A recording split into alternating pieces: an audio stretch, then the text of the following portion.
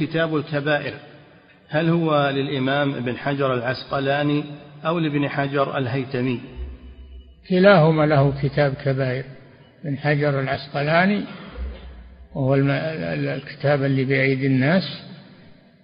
والهيتمي له كتاب الزواجر. كتاب الزواجر عن اقتراف الكبائر. نعم.